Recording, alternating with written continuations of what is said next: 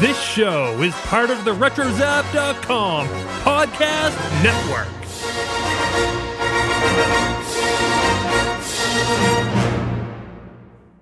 All right. Punch, it. This is what you can look forward to on episode 165 of Skywalking Through Neverland. Just breathe. Did we survive Celebration Orlando? My favorite moment was being able to attend Smooth Talking with Billy Dee Williams. We see Rey's hand smack dab on that stone. What do you think happened right before that? Oh my god. What- The part where Hera narrates in the beginning, I started freaking out because I'm like, oh my god, I don't want any of these characters to die. Who was the rebel spy the second time? It wasn't me. Our hour long drinking around the world turned into about three hours long? And we wanted to do something to celebrate Easter. So what better way than to wear hoojib ears and bounce around the celebration dealer room floor? So this is where I have to tell you that season four is the final season of Star Wars Rebels. Ladies and gentlemen, boys and girls, Hello, Skywalkers. Listen.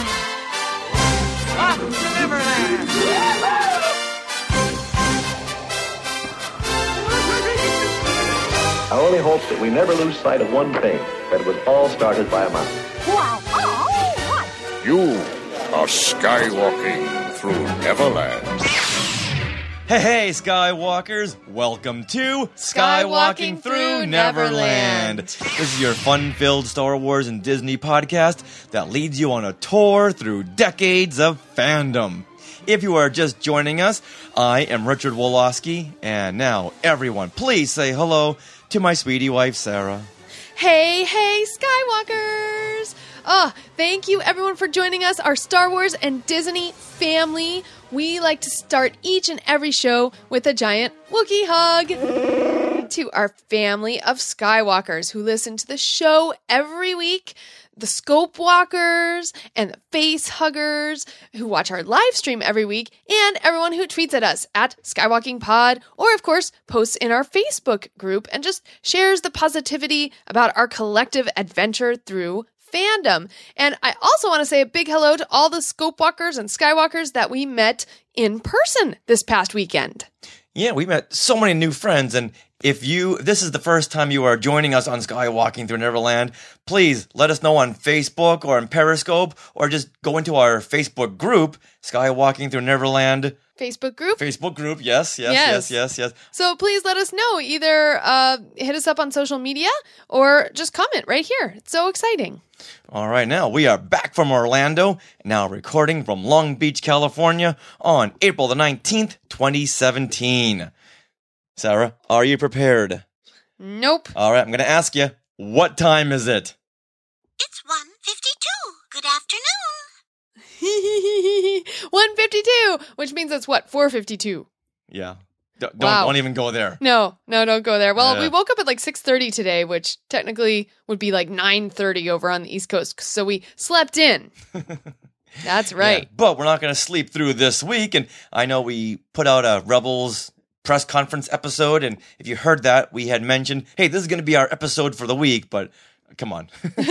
Who are we kidding? You know what's fun about that episode is that it was edited in Disney Springs and it was published No, no, it was recorded in Disney Springs. It was recorded and edited at Disney Springs, No, and no. then it was published at the airport. Okay, let's go. Oh yeah, okay, you're right. See, I'm I'm already two shows ahead. See, I know I'm right. yes, you're always right. Always right. Yeah. So there we were recording at Disney Springs. We had to huddle around our microphone, and as soon as we started to huddle around our our iPhone, guess who showed up? A squad of secret squirrels, Mhm. as if they knew that we were going to be there. They didn't catch us, but they were right there. So we got that edited, and off it went at the airport, like you were saying. You were Yep. right. Yep. But then this show was mainly edited during our flight from Oh, Orlando to here. yeah, there you go. So the so the actual The actual debriefing, Debriefing. segment that we recorded yeah. on Sunday, I was too jazzed. I wanted to put it all together, so I cleaned it up. And uh, when we first left Orlando, I'd started it. We just landed in Los Angeles, and I just made the last edit. Woohoo! That's timing, That's how we have a show for you this week. Another one. It's right? Very exciting. So, on this show, like we just mentioned, we're going to have our debriefing for Star Wars Celebration Orlando. We called all of our friends. Some of them couldn't make it, some of them had to leave, but those who could make it, we want to thank you very, very much for that. And we gathered all the Skywalkers who, who still had a little bit of energy left Just a little bit. and said, okay, we just need uh, an hour of your time. Yeah, we heard everyone's adventures and stories, and oh my goodness, Got a little corner of the Hyatt Hotel. And we had a Charlie Brown buffet, an Yeah. Easter buffet. Everyone took all their snacks out of their bags and put it in the middle of the table, and we all just kind of yum yum yum yum yum. like jelly beans and toast. It, re- it really was a Charlie Brown Easter feast. it was awesome. yeah, and of course, and that happened to be the area where a lot of people were walking back from the convention. So we saw Andy Gutierrez, Matt we- Martin Matt stopped Martin. by Mhm. to give us some some questions, some answers to questions we've always wanted to know. Yeah. Hmm, Rey's parents. Who are Rey's parents? Does he break down and tell us? Listen and find out. and find out who could or could not carry a tune during our show tunes sing along. Yeah, we That- didn't. that's we how didn't, giddy we were. We didn't plan that. It just kind of happened. That's oh, how Steve, giddy we were. Steve Sansweet says says Matt Clifton. He he also stopped by. That's right. He didn't stop by, but we saw him as well. Oh well. yeah, we stopped yeah, before we started recording. Yeah, so Mm-hmm. Yeah. everyone was walking by there. it was neat. So now, before we go into our debriefing, let's for the first time combine things we want to share and our shout outs, since this week they do go hand in hand. If you like Reese's peanut butter cups, you're going to love this. It's like chocolate and peanut butter all rolled into one. but shout outs and things we want to share. Things we want to shout it out, shout it out. Things we want to share. Things we want to share. Shout outs. Things we want Skywalker to share. shout outs. Which Skywalkers get props from here in Neverland? Who was tweeted out? Shout out. Who was photoball? Shout out. Who was shared a post? Shout out. All right, so we want to thank a number of Skywalkers who helped us out this weekend, including many who volunteered for our podcast stage show extravaganza experience. Yes. It was a huge show. We needed a lot of help, and everyone just came out and really wanted to help out. And I mm-hmm. we, we really appreciate that because we couldn't have done it without you. So let's start off by thanking Jeremy Hunt for running the soundboard, and he was pretty much the crux of the show because without him, we couldn't have. We had rented a big screen, a big screen and a mm-hmm. projector because we wanted everyone. We knew the room was going to be packed, and we wanted everyone in the back to see what was going on. And let's let's get a projector. Yep. All right, let's let's sink some money into this. That's that's fine. Matt Clifton was a huge help. Martin Keeler donated a lot of prizes. Yeah, and we want to give a big thanks to Kylo Ren, who is Ryan Street, and Swara, who are our bouncers. Yeah. We also had Kai Charles, Red Five Mom, and Patty Hammond also donated some prizes. We want to give a big shout out to Scott Hume and Donald Wicks. Oh, Dan Barry, who had a Dan very special job. Yeah, he wasn't there the first part of the show. Where did he go? It's almost like he had a secret identity. So, big thanks to Dan Barry for getting there late. We want to thank Brian Sims and Margaret Mays, Sophie Kaplan, Joe Costa Drew's daughter, Amanda Bakken, Michael Talon, Reynold Gobiel, And Matt Bush and Lindsay for donating so many art prints for all those great giveaways. And also, of course, Randy Martinez for joining us on a mini episode of Classic Marvel Star Wars comics. yeah, so thanks to everyone and, and people who donated prizes. I just can't thank you enough. And, Yeah. You know, Matt Bush and Lindsay had we gone to their booth and they just said, "Here, want some prizes?" And ka-chunk Oh, I know. gave us a like a a roll of posters that weighed more than most Ewoks. Yeah, exactly. And now, if you're wondering where you can see this live podcast stage show, if you have not seen it, if you were not present, we are working on uploading that to YouTube. And we will also have the audio available on our podcast feed. Someone just chimed in and asked, "How much does an Ewok weigh?" Well, if you're looking at Logray, he's a little bit thicker than most Ewoks. Wicket is a little bit smaller because he's, he's a child Ewok, so gotta be more clear. You're talking about Teebo, you're talking about Princess Kneesaa, who doesn't weigh that all that much because she's animated. And then, are you talking about this Ewok? Yeah, Because this Ewok is one and a half pounds. And we want to thank all the Skywalkers who came out to see our, our podcast stage show. So, Martin Keeler just chimed in on, what is that, Periscope? Yes, uh, the pleasure was mine on Facebook Live. You did a great job. One of the highlights of the weekend. Oh, thank you. Thank you. Martin gave a ton of posters and some bottle openers. Yeah, from Cantina, hashtag Cantina from Star Wars Celebration Europe. Martin, did you say that you had you had the video you had taken of the whole line, right?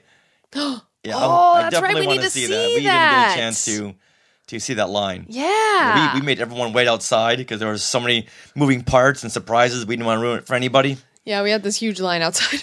So thanks for everyone for coming and enjoying and hanging out for the extra 30 minutes. They Mhm. gave everyone an hour. We took an hour and a half. yeah, You just can't do what we wanted to do in, in one hour. that's true. And we want to thank Derek Beebe for also being there. Oh. Why am I mentioning him? Why? Because whenever we mention Derek Beebe, we always mention his name wrong. Ah, We we always mentioned him. We always called him Derek Beebe. Okay. So Derek this is Beebe? a way of our our making it up. We know now. Derek Beebe. And Thank you. Marina Payne, thank you for joining us. Lots of fun, she says. Yeah, it's Aw. fun hanging out with you during the week. And also, let's see. Oh, what video did Amanda Bakken get? Oh, Yeah, big thanks to Amanda Bakken. Well, you were going to one panel. I, I really wanted to see some of the vintage panels, and I hadn't seen any yet. Right. And we passed by uh, Amanda and Eric on their way to the Rebels pilot panel. Right, Now, right. this it was billed as the Rebels panel, so people going there thought it was for Rebels, the animated show, and even the host, that little cute bouncy number. What's her name? oh, Amanda, I think. I don't know. Yeah, she had no idea what panel it was, but it was for the Rebels Oh, no. pilot uh, panel. like like it was a, a reunion, right? Reunion, yeah. Denis Lawson, who played Wedge, was there. Garrick Hagon, who played Biggs Darklighter, was there. Angus MacInnes, who played Gold Leader, was there. Wow. Yeah, uh, Mike Quinn, who played Nien Nunb, was there. Tim Rose, who played Admiral Ackbar, was No there. wonder you wanted So to see I this. really wanted to see this, and I was so glad I did. And at the end, they had a Q and A, so immediately my hand shot up, and I made sure the person could see me this time. and I asked a, a question, and of course I said I'm from Skywalking through Neverland, and and I asked Angus MacInnes a question. First, I wanted to ask Denis Lawson a question. I really wanted to ask him, ask Denis. So you had said you didn't want to do The Force Awakens because you would have thought it would have been boring. Please, please explain this because there's a lot of people in this room who want an answer to that question. Yeah. But as soon as it was Q and A time, he bolted. he left. He had to go do something else. If you're listening, my hands are doing the air quotes thing. I, I tend to believe he knew what was coming. Yeah. Yeah. Hmm. So instead, I wanted to ask Angus MacInnes, who played Gold Leader, a question. And you know what? Let's go ahead and roll the clip right now. And sorry about the audio, but we were in a big empty room, well, uh, Not- a, a bare room, so the sound was just bouncing everywhere. All right. So thanks to Amanda Bakken for for getting out her iPhone and recording this. In the center, I have Richard from the Skywalking Through Neverland podcast. Hi, Richard. Hey, hey, hey, guys. This question is for Mr. MacInnes. What was it like being killed by Harrison Ford? When?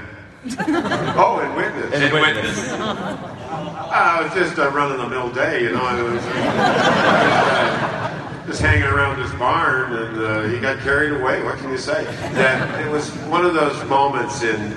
I suppose every actor has them. Um, you have these sort of bell-ringing moments in your career, and um, when they suggested that we do this scene, I blithely said, "Yeah, well, yeah, that sounds like a great idea," and. Um, had not a clue what was going to actually happen until they really just we discussed it and then they put me in this silo and I thought um you're going to drop how much corn? And then and then Peter Weir got in with me and he was all bandaged up he had towels around his face and he had glasses on. And I said Peter what are you doing in here? And he said, Well, if you're going to do this, I'm going to come in here with you. I said, Are you out of your mind? You've got to get out of here. This is going to be a, excuse my language, but this is going to be a storm. Like, no question about it. And it was. It was a total nightmare. And I've only had that experience one, uh, one other time when you sort of thought your life was actually on the line. Because when this corn dropped, I sucked in an enormous amount of dust. I, I hadn't realized that it wouldn't just be nice little pieces of corn. There was always going to be a lot of dust in it. And I suddenly inhaled all this dust. And there's a shot of me trying to get out of the silo. And I was actually desperately trying to get out and desperately trying to get a, a gulp of air. I had absolutely no air. And that's in the final cut. Hmm? That's, that's, that's, that's one take. I'm sorry. You know, All right, let's do it again. As we all know, do it again. For choking.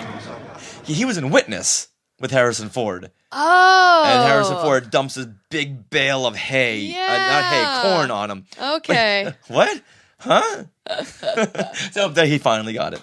Okay. Yeah. I was at the Freemaker Adventures panel. Meeting our very good new friend, Michael Kramer. Michael Kramer, the composer. Yeah, who we got an awesome interview with. All right. And I walked up to Bob Roth after the Freemaker Adventures panel, and I was wearing my Skywalking Through Neverland shirt, and he pointed right at my chest and said, "I want to be on your podcast." Okay. I know that was fun. All right, sure. So we had several meetups throughout this weekend, and I think the capper was our Epcot day on Monday after Star Wars Celebration. And we just want to give a big shout out to Sandra Choute for helping us out on our Epcot day. So Yeah. you know what you did, Sandra. So thank you. the fourth Skywalking Through Neverland meetup. Wow. Four. Was the first one Drowning in Moonlight? Uh, that one wasn't really a. Uh, It wasn't our meetup. Meetup, no, No. no. The first one was the podcast stage show. Then we had No, Galactic, Galactic Nights. Nights. Then we had The Hoojib Hop. the Hoojib oh, yeah. Hop. Oh yeah, And then which we'll go into in just a couple of Yeah. seconds in the debriefing, and then Epcot. and then Epcot. Yeah. So, So- thanks to everyone that, and each one of those meetups were just packed. Yeah, we had different people showed up. Some of the same people showed up. It was awesome. We had this whole tribe of Skywalkers, and it it was so amazing. And my mom has joined us. I think that's Facebook, right? Facebook. Hi, mom. Yeah, and mom, we give you a huge shout out because you had bought us for Easter those prints that we loved. Yeah. Love them. So Thank you so for much. that. Oh, and then a bunch of Skywalkers Oh. and podcasters met at Jock Lindsay's on Sunday night as So well. There were offshoot meetups. Yeah. It was so much fun. Like half what the the fun of Star Wars Celebration really at this point is just a family reunion. Yeah. It really is. Hey, Dan Barry just joined. Hey, Dan, where were you the first half of our podcast stage show? You missed Secret Squirrel. Yeah, what the heck? Come on, Dan. All right, so who was there at the at the Epcot meetup? Well, the Mandervillians, of course. Mm-hmm. Boy, Luann's a trip. she, she wasn't even drunk. Matt Clifton, Brian Sims, Amanda and Jeff Bakken were there. Patty and Michael Hammond. I'm so glad that Michael was there, Patty's husband. We've never really talked before, uh, except for saying hello and goodbye. But what an inter- interesting guy. Yeah. And also, we had Walter Manbeck. He joined us. And Tricia Barr and Teresa Delgado made it a bit of a fangirls reunion for a while. Of course, Greg Lutha, Teresa's husband, was there as well. We had BJ Priester, Ryan Stampfli, The Chica Fence, Missy Kaya, and Michael Emke joined us. He was actually working that yeah, day. he works at Dis- at at Epcot. Yeah. So he took off his name badge and came over and joined us and put it back on. He's like he's like Superman. Uh huh. You know, with, instead of the glasses, he's got Uh. his name badge. and also, uh, I know Dan and Lindsay Barry and he- the Hunt family were shut out of of Epcot because of blackout dates because of Easter. But Easter weekend was kind of hard for for uh, yeah. a convention. Hey, you know what? Tangent. Time for a Yes, tangential okay. moment. Hey, I don't know how we can do this, but I, I really want to have everyone write in and say no more Easter weekends. Is there anyone Mm. here who loved having an on Easter weekend? How about from the Scope Walkers and the Face Hugger? Did that sit well for anyone? Because Maybe- I want to all all uh, Email. email. And um, at some point, they will be sending out the comments and surveys. Oh, comments Let's put and it no more Easter weekends because I know I don't think we'll be able to make it another Easter. No. You know, I know a lot of other people also said the same thing that it just destroyed a lot of family moments. right. So let's write in no. Mo- can we hashtag that? uh, Hashtag pick any other weekend. but Easter. Yeah. Terrible time. Yeah. I mean, we all had fun, but but yeah, it was hard, and like you said, like a lot of uh, Skywalkers are blocked out of the parks. Well, a lot of them had have families that Yeah. they want to be with on Easter, and Mhm. it was it was really really hard. And we our job depends on holidays. Yeah. Hey, Christopher Marino just joined us. Danbury Christmas weekend, no, bad, All right, maybe not that weekend either. no. All right, and then later on at Epcot, when we left, we had met Joshua Jordan too, who worked at what, what is it called? Mm-hmm. Disney at- Quest. Yeah, Disney Quest. hmm Yeah, that's the big arcade place what, that they're going to tear down. They're going to take get away with Disney Quest. No more Frogger, no more Space Invaders, no more asteroids, no more Missile Command, no more of those elevator escape games, no more Mario games. And you know what it's going to be? The NBA experience. Um, what's an, what's an NBA? It's an NBA. Base basketball. So you don't you don't even know. all right, so unfortunately, that's that's all that's all going. Whitney says hi. Hi, Whitney.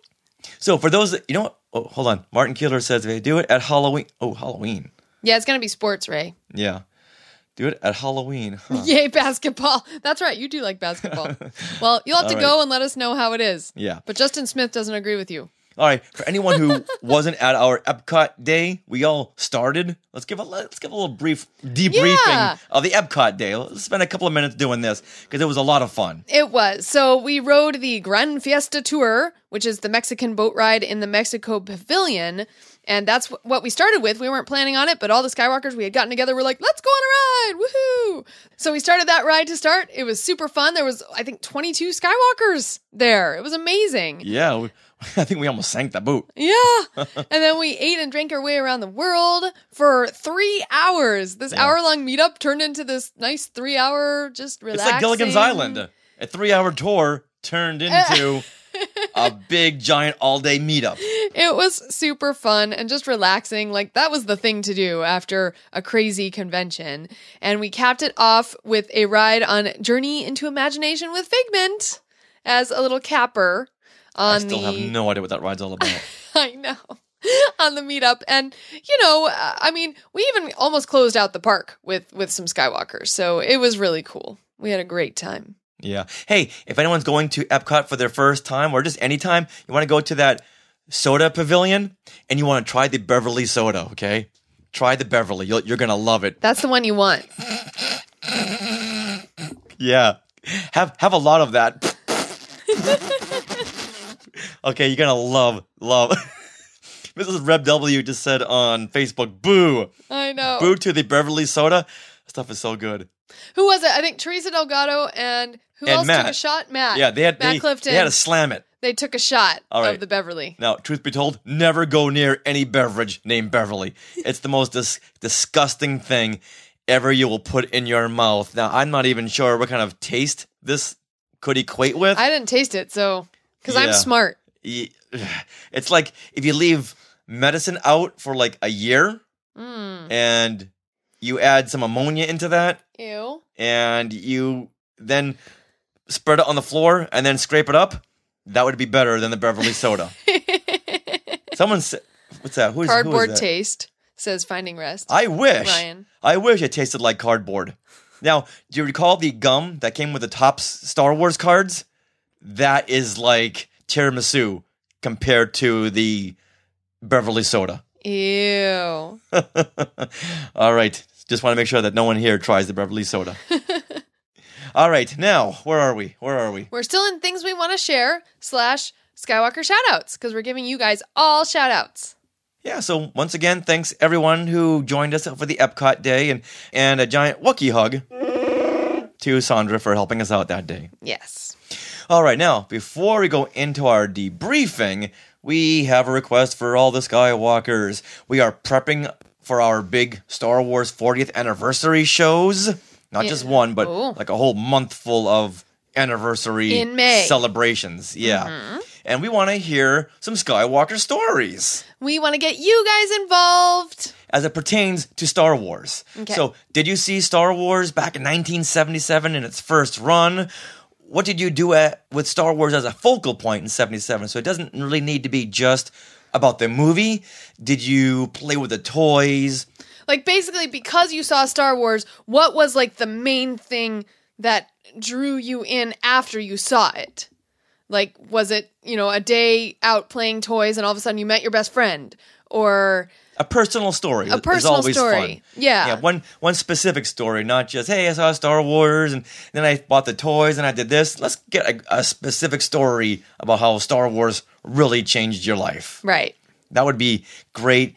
And once again, it doesn't need to be just about the movie, but it can be about uh, something having to do with the toys or the merchandise. Maybe you went to the mall to see Darth Vader, which was that would be a story I may tell going to the mall to see Darth Vader. So so huge, but. You know, a lot of these Skywalkers, Sarah, including yourself, Mm-hmm. well, they weren't around in 1977. That's true. So if you did not, you if you weren't around back in 77, but you still have a story to share how you Star Wars affected you in some personal way, we really want to hear about that story.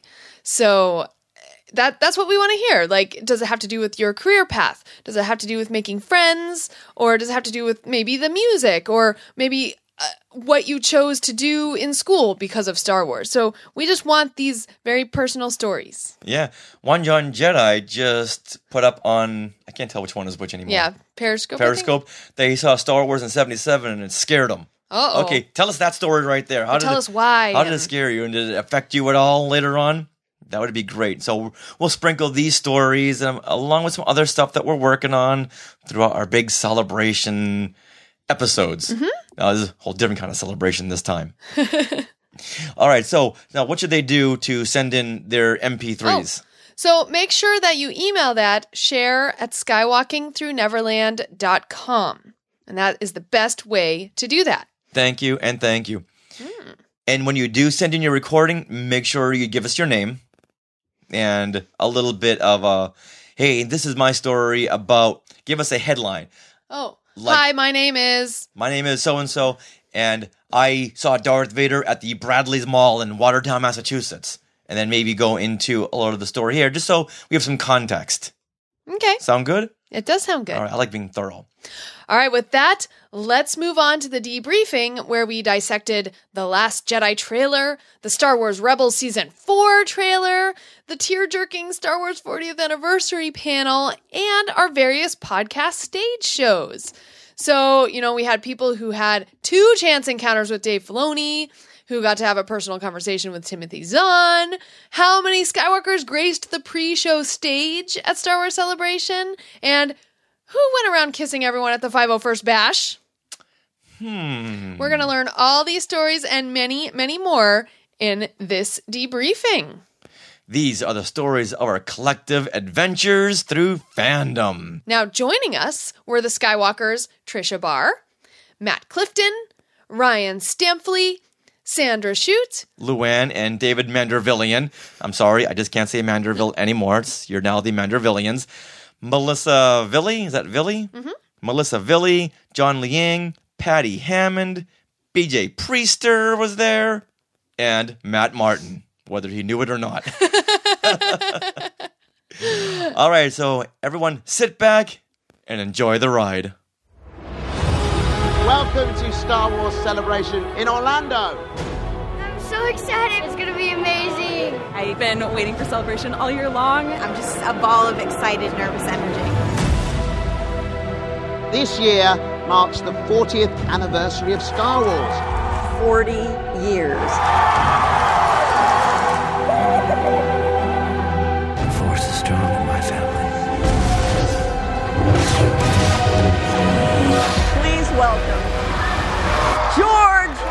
Lucas.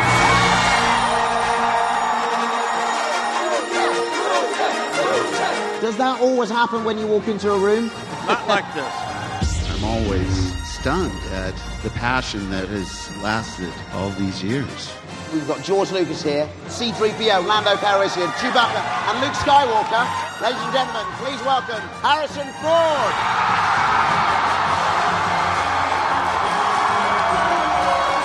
Doesn't get much more epic than this. This is going in So the celebration outtakes. Orlando has just ended and we are really, really punchy. We're now singing Grease tunes. Yes, we're All not right. sure what convention we were at. Not at all. That's why I had to pause. So, did we survive Celebration Orlando?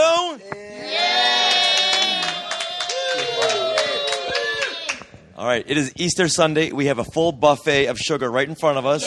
All right, so let's talk about Star Wars Celebration Orlando. Who was here all four days? That's everyone here. Everyone raise their hand. And you know what? We have how many people? One, two, three, four, five. Twelve of us. 12 of us. Twelve, 12 people. of us all telling you Skywalkers who may have not been here about our great times. And That way it's like you were here with us. Oh yeah, we're bringing you guys with us. Exactly. So, you know, let's go around and ask everyone what their favorite moments were. Mm. Favorite moments. All right, Tricia Barr? Do I really have to go first? Yes, you do. All right, you know what? I'll go first. Okay. All right. Yeah, that works. The 40th anniversary panel. That was. Who talks first? Who talks first? You talk first. I talk first. I can't understand talks you with your glasses on. Who talks first? All right, so the 40th anniversary panel. All right, we have all these stars of Star Wars coming out on stage with with Mr. Harrison Ford. Yay! Never thought that would happen at a celebration, but he's been coming around. He's been less grumpy pants these last couple of years. Absolutely. So that was fantastic. Plus, we get George Lucas and Mark Hamill and Billy Dee Williams. We had Warwick Davis and Peter Mayhew, and that was just fantastic. And okay, then and Billie Lourd, Billie Lourd, Carrie Fisher's daughter. Oh, Billie Lourd was a surprise. We really didn't expect that. Yeah, yeah. I didn't because she's been kind of staying away from all of this. Uh, but her mom, if it's if it's not pre-recorded, I, who, who can blame her? Too? Oh, yeah. yeah. And she had uh, behind us was her was her teleprompter, and luckily it was there because she was just about to break down. I don't know Mm. how she got through all of that. Yeah, that was that was heartfelt, and the fact that she was going through all of her mom's favorite Star Wars quotes. General Kenobi, years ago you served my father in the Clone Wars. Now he begs you to help him in his struggle against the Empire. I regret that I am unable to present my father's request to you in person, but my ship has fallen under attack, and I'm afraid my mission to bring you to Alderaan has failed. I have placed information vital to the survival of the rebellion into the memory systems of this R2 unit. My father will know how to retrieve it. You must see this droid safely delivered to him on Alderaan. This is our most desperate hour. Help me, Obi-Wan Kenobi. You're my only hope. Yeah. So, who who here did not shed a tear during that? No one's raising their hand. I didn't get to see it. Now, don't forget when you're about to speak, just say your name so we know who you are. I'm David of the Mandervillians. I shed no tears because I was spending two and a half hours in the Hallmark line at the time. You got your canteen at Itty Bitties. I got my Hallmark ornament. That's what I oh. wanted. Oh, the Ralph McQuarrie Oh. Stormtrooper. Yes. All right. Okay. So you're excused, and you're excused. but if you were there, you would have been shedding tons of tears. Well, I would have been more excited to see Harrison Ford because I'm a huge Harrison Ford and Han Solo fan, so I'm more upset that I didn't see that. And when he came out, he wore a giant smile on his face. Awesome. All It right, was. Sarah, My favorite moment? your favorite moment. My favorite moment of the whole convention would have been, honestly, uh, Timothy Zahn. Oh, moment with that. Okay. Because for me, I didn't actually realize how much Timothy Zahn had affected my fandom until Thrawn was announced for Star Wars Rebels in the third season, and I found myself like crying at that, uh, you know, at the Europe Celebration Europe announcement. And so, uh, knowing that and just realizing how much that affected me, his books, um, I actually had about we had what 15 minutes to chat with him Yeah, 15, 20 um, minutes. at the Drowning in Moonlight Gala. So that was amazing, and we talked all about how Thrawn is in Rebels, and he totally lied to our faces when we asked, "Is there any more characters that are going to be showing up in Star Wars Rebels?" And he's like, "Oh no." You know what? I did play that back in my mind, thinking, wait a minute, did he just lie to us too? But we did ask him, is Mara Jade going to be in? And Joruus, whose last name I can't Joruus pronounce. C'baoth. So he never really C'baoth. said no more characters. So he didn't. He didn't really lie. He lied. Whatever. That, this is Patty. It's from a certain point of view. Ah. This is Melissa, and I was just about to say that too. nice. All right. Who else wants to tell us their favorite moment from Star Wars Celebration Orlando? Sure. Thanks. Thanks. Uh, this is Matt Clifton, and uh, probably one of my favorite moments was coming out of the Last Jedi panel. And uh, say what you will about the trailer, if you lo- liked it or didn't like it so much, but when Ryan and I came out, there was a Rey cosplayer who was being comforted by her friend, and just the level of joy and emotion on her face was just just told me everything. It was just that when something can affect you like that, that's what it's all about right there. My favorite moment, this is Tricia Barr, is the Fangirls Going Rogue podcast stage. and you have an insufferable ego. I do have an insufferable ego. But it was because we got to be with friends and we got to do what we wanted to do and have a good time and talk about Star Wars with people, which we don't, you know, we talk in our with their earphones on usually. We don't get to share and so for me that was one of the highlights. It was really cool to see all those people. We had a very, very packed room there, and uh, lots of fun. I guess Mary Franklin actually uh, crashed our panel and took pictures. Oh, yeah, how fun! Oh. Yeah, so that's cool. Yeah, I'm Ryan Stampfli, and I yeah, this is tough. Uh, being with everybody, but probably if you want to pick moments, it's just when you're walking along a line and all of a sudden someone calls out your name that you maybe haven't met in person or you just haven't seen them in two years or something like that, and they recognize you and they call you out. And yeah, making those connections, not being the little tiny postage stamp size picture on a screen. You're actually, yeah, you know, getting to see each other life size in person. You get the hugs. It's really cool. This is Patty Hammond, and I agree. I, I cannot believe how many people recognized me going through the hallway and yelling at me, and I'm like, huh? What? Are you talking to me? It's okay. This is Luann Mandervillian, and I don't know. There's so many wonderful highlights, but So lo- separate a favorite moment from a personal moment. We'll do personal moments in just a bit. Okay, personal, but a favorite moment. Favorite. Oops. Harrison Ford. Harrison Ford. Mhm. Okay. Having him come out, uh, you know, after all these years, and there's been, you know, so many ugly rumors that go out there, and Ah, who knows what's true. But I really felt that he really said thank you to us. Yeah, was, yeah. and there was still love in Yes. that room between him and George. It was wonderful to see that, and we all just sucked right into that. And I love that. And he's still, oh my goodness, hot. So anyway, anyway, High five, so- okay, high I'm sorry, that's a little personal, but anyway, anyway, that, David sitting there are- right in I know, front of I you. know. I'm divorced now. Okay, bye. Good to know. You know what? Ha- Harrison Ford is is all, is all, is on the list. It's fine. Yeah, I told my mom, Yeah. so you know she's right there with me too. but you know, this has been so awesome. So thank you. Suddenly we're all talking about hall passes. Yep. this is John Liang. Probably my favorite moment was um, doing a panel with Jason Fry, who wrote the Servants of the Empire books and uh, the Star Wars uh, Guide to Warfare, and Thomas Harper, who is a who's a contributor to 1138. We did a panel on the military and Star Wars on Friday morning at 10:30.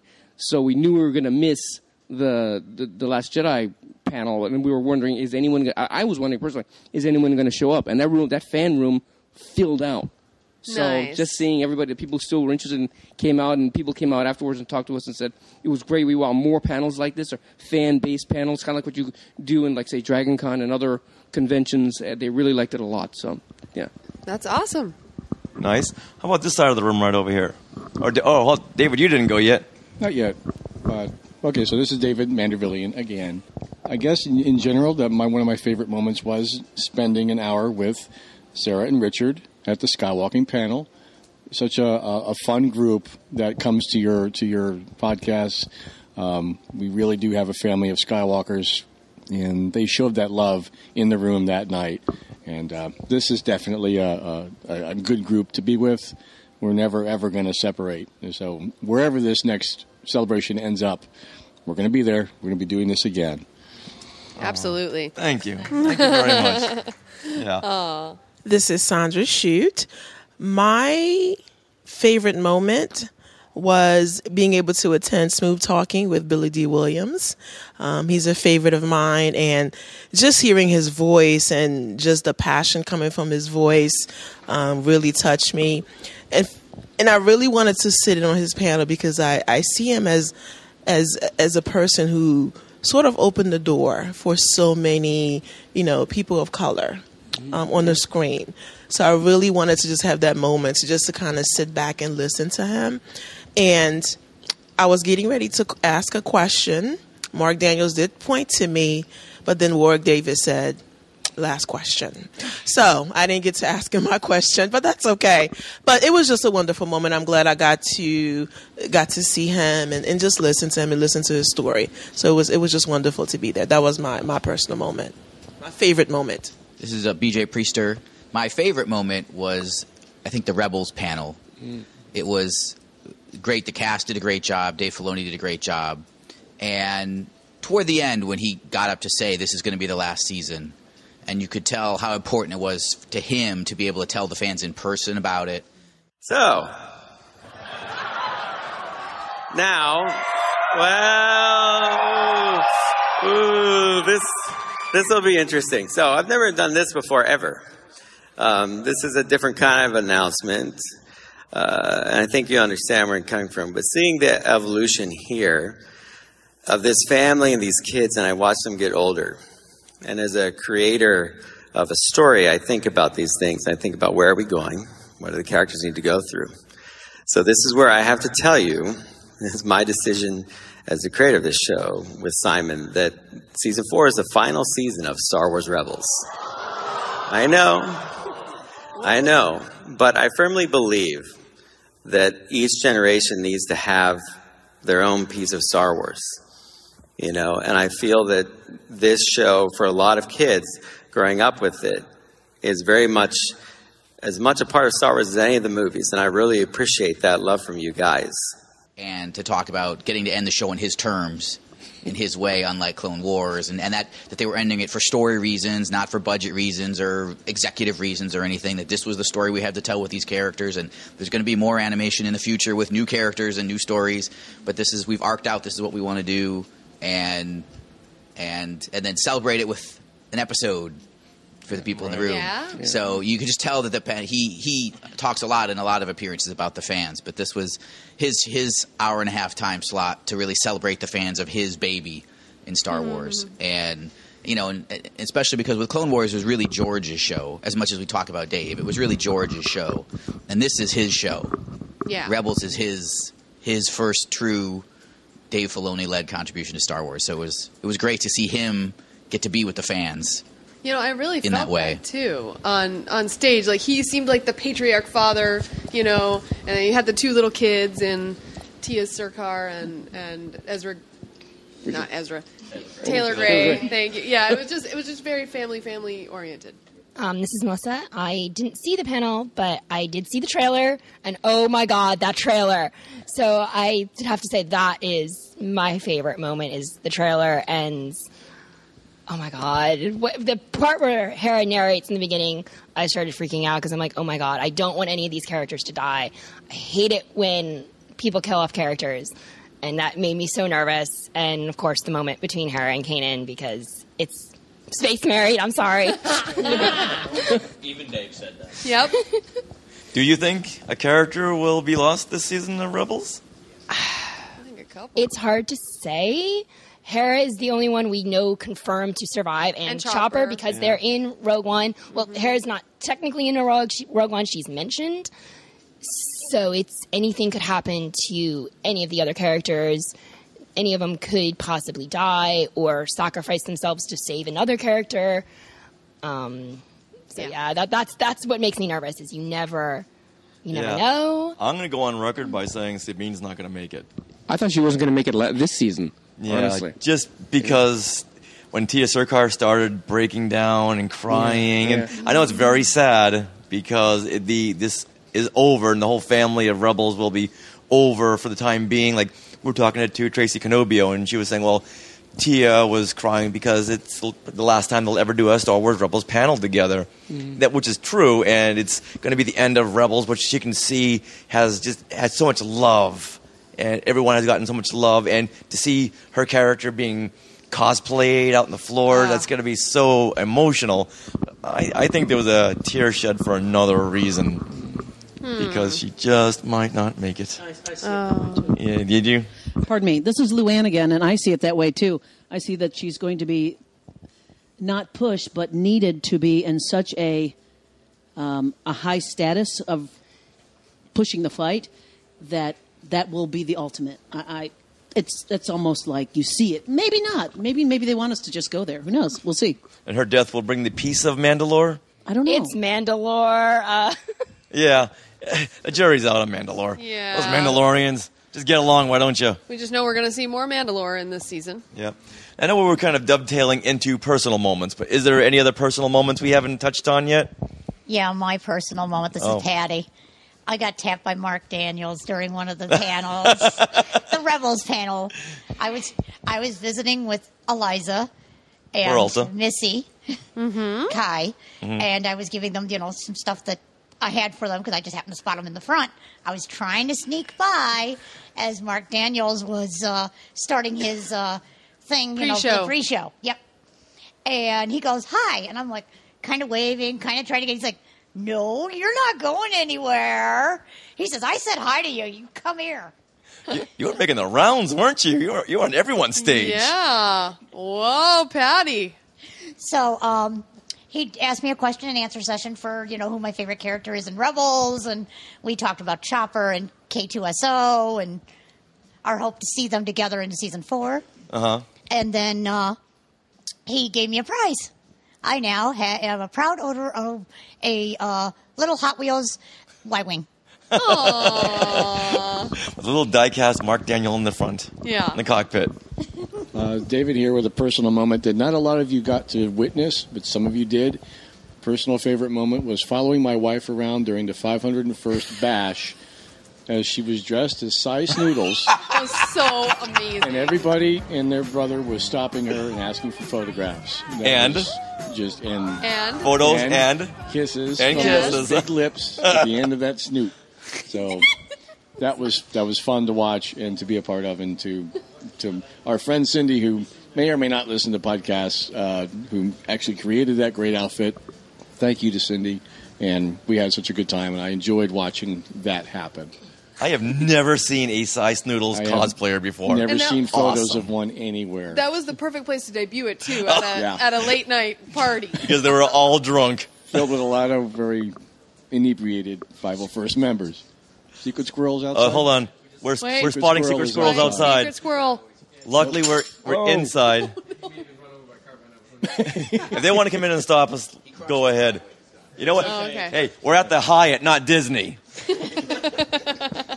Sarah, what was your personal moment? Well, uh, so I guess I did mention a personal moment with Timothy Zahn. Well, John well, John Williams was a favorite moment, but another personal moment would have to be in the Star Wars Rebels press conference when I grabbed that mic and was able to ask a question of Dave Filoni. Hi, I'm Sarah Woloski from Skywalking Through Neverland and Fangirls Going Rogue. And I have a question. I know our listeners love to hear about the Force, like the Mortis arc and Clone Wars and stuff. And so my question is, are we going to explore the Force in that way and mythology a little bit more in season four? And especially regarding that white, white wolf we saw in the trailer, as well as the fate of Ahsoka. There's a wolf in the trailer. There were a bunch Where was the wolf? That's such a such a direct and daggered question. yes, I know now. I see all the spots. See, I I know all of you better now over the years. Uh, you're all a very perceptive group, and I enjoy this very much. Um, you make it the dance very difficult for me um, because I so desperately want to answer your questions as a fan, fan to fan, and I appreciate it. Um, the Force is the core of Star Wars, and you have to be careful when you answer too many questions about it. I made him dance. You're very good at that. Now, my personal moment that David Mandervillian already stole was the podcast stage show Skywalking Through 40 Years of Fandom. That was just phenomenal, just seeing everyone there. Martin Keeler had taken video of the line, which I'm still, I still can't wait to oh, see. Oh, yeah. And the fact that everyone came out in droves and participated and just showed, and, it, and they said how much they loved the show and this is not my insufferable ego talking, but it made them happy. It, it inspired them to do a podcast or something else themselves. And just come on over and say hello and how much they enjoyed the show. Even though the show went 90 minutes, Yeah. 30 minutes longer than it was supposed Great. to, everyone stayed and had a, a really good time. Yeah. It wasn't even like doing a show. It was like talking to all of our f- friends and family, Yeah, or and just just family. And I want to thank all the Skywalkers who came up to us and said, "Hey, I'm this person. I'm I'm so and so, and I'm so and so." Just because last time in 2015, a lot of people had said, "Oh, I was kind of nervous to come on over, and you guys looked busy." And I'm so glad they weren't this time, and Yeah. they really made an effort to come on over and and say hello. And thank you to all the Skywalkers who did that. And when you do that, you get buttons. Yes. Hopefully they did it just to come over and say hello, not just to get just uh, not just to get a button. Yes, But but, you know what? Extra incentive. Yeah, double their pleasure. Yeah. Anyone else with a personal moment? Yeah, this is John. The right after the the podcast we did, I'm sorry, podcast, the this the um, panel that we did on uh, military and Star Wars. After we were out of the actual room, we were just out, we were just hanging out with uh, Jason Fry for a bit, and Thomas gave Jason Thomas, who is an active duty JAG Army JAG officer, JAG, JAG Advocate General. He's an Army lawyer. He had spent time in in Afghanistan, basically advising the U.S. military about rules of warfare and that kind of thing. And he gave Jason a patch that's only the only people who were deployed to Afghanistan were allowed to, to hold in appreciation for him coming on onto the panel. So it was, he was gobsmacked. He was he was speechless. He, he did had nothing to say. He was so really really appreciative of that. So yeah. Wow. Yeah. I love hearing all these personal moments because it's like the, the convention is contains so much. You can't be everywhere at once. And the, I just love it. Anybody else? Have we gone Th- this is? Luann again. I just wanted to say, besides all of us being involved in this, all the other people that know about Star Wars and they know a little bit of background and not aren't necessarily Uber fans like we are, want to know what was it like. What was it like, Luann? How did they love your costume? How did it go? Did you have a great time? What happened? They want to know. And so it reaches beyond, way beyond. And so it, it really talks about how um, how big of an impact it makes on everyone. So, yeah, Star Wars in general. you got it. Yeah. you got it. And this is BJ. I'll, I'll share my personal moment too. I actually missed the Fangirls Going Rogue podcast stage because I went to the Heroines of Star Wars panel that was at the same time or conflicting times to make sure we could report it for Fangirls Going Rogue and Fangirl Blog. And it was pretty amazing to sit there. It was mostly Dave Filoni talking, and then they had Daisy Ridley and Tiya Sircar and Ashley Eckstein come out too. But uh, but for Dave Filoni's part, it was it was there was probably a ten minute segment where he was saying a lot of the talking points that that Tricia and I and the blog have been talking about for seven years, and the need for diversity and inclusion and more female characters and more female creators and executives and writers and directors in Star Wars, and to hear Dave on a panel at Celebration basically saying the same sort of things that could have been one of Tricia's blog posts or one of her rants on the podcast is uh, I should say rants commentaries on the podcast uh, was it was really meaningful because it, it that the message is getting heard at the highest levels of Lucasfilm and that's really important. Nice, very nice.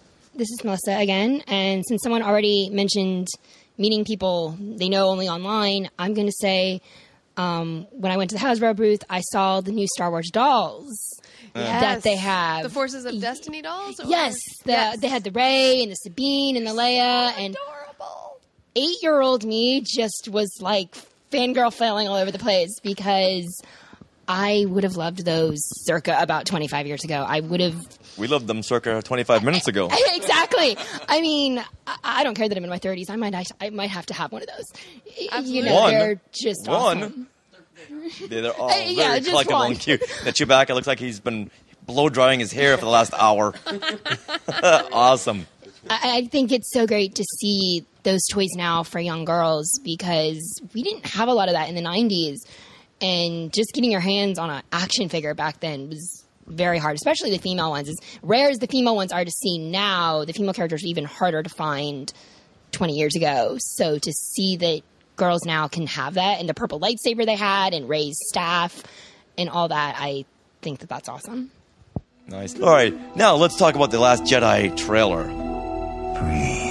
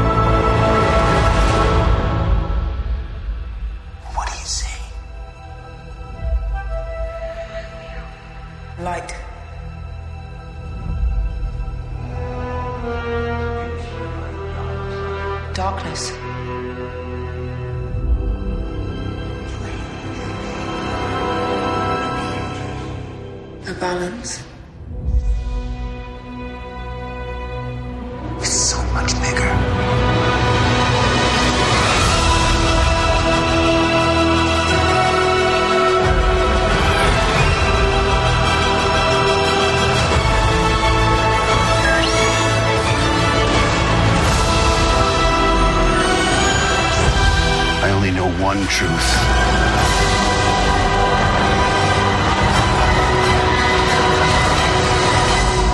It's time for the Jedi to end.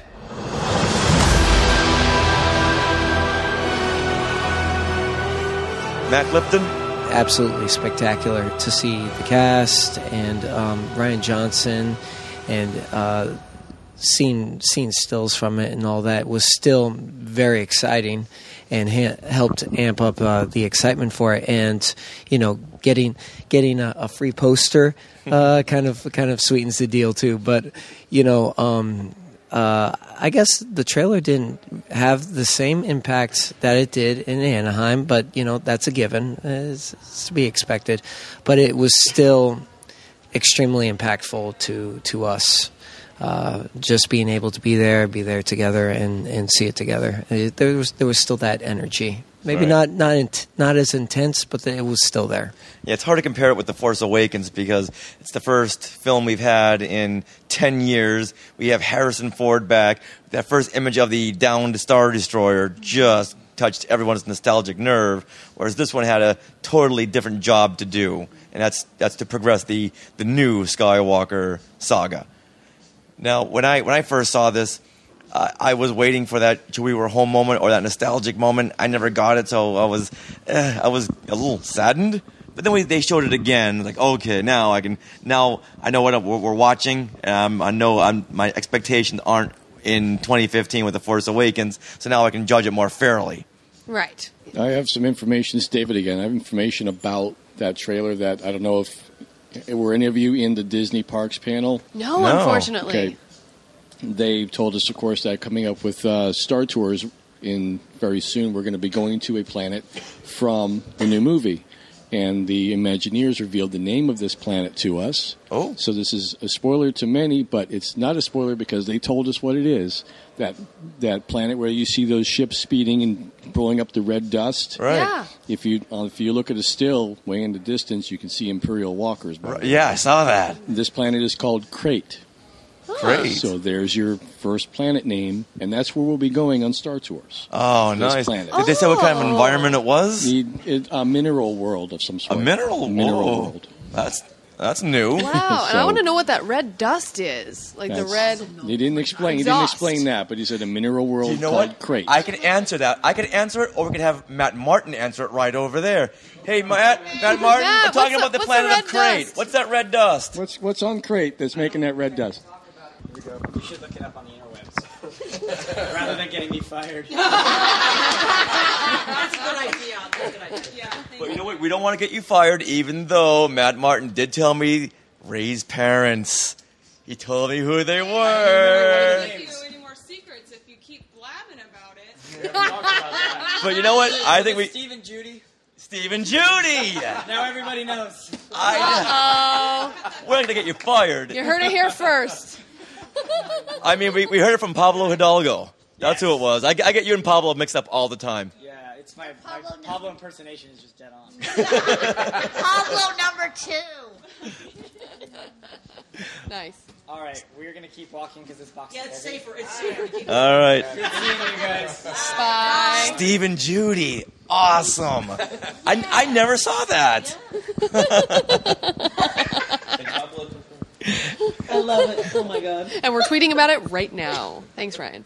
All right, so the, the Last Jedi trailer opens and we see Rey's hand smack dab on that stone. What do you think happened right before that? Vision trip. That's a vision. That's a vision or a force back of something. It's definitely she's moving through some type of image. She just yeah. collapses. Bam. What well, we've was seen her do that before. Why would it be any different? I, you know, but who knows? It looked like a cave right behind her. Well, she's on Ahch-To, so a place is full of caves and little and caverns. Okay. Okay. Yeah, because it did. At, at first, I thought she was like running and then you know like had s- spat down, but but it didn't look like she could run because behind her was like a big wall. So so Mhm. yeah, I yeah must have been And vision. and then the crowd went nuts when they had that long shot of her practicing with the lightsaber with Luke right above her. And someone said something about a statue on the other side of her. What? Huh? Yeah, there was a statue right there, right at the edge of the cliff that went down. I, at first, I thought it was Luke looking over, but no, it's a statue, and Luke was on the other side. She was in between the statue and Luke. Yeah, I and just- the statue was right on that cliff going down. I just thought it was a, just a big rock face. It could have been. You're right. It could have been.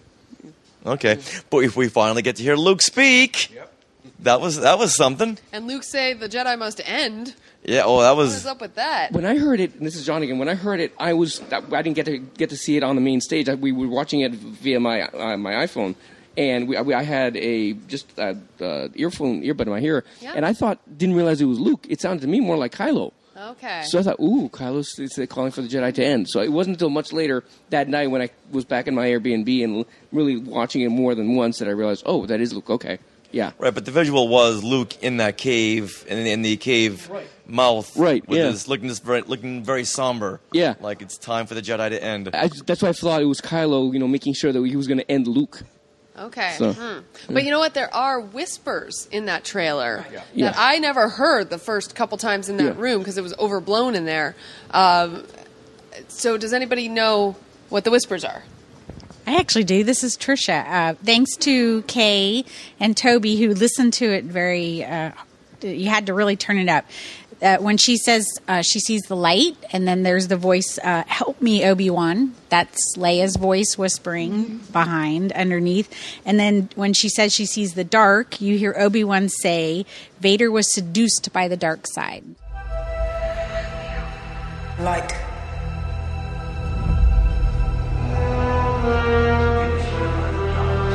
Darkness.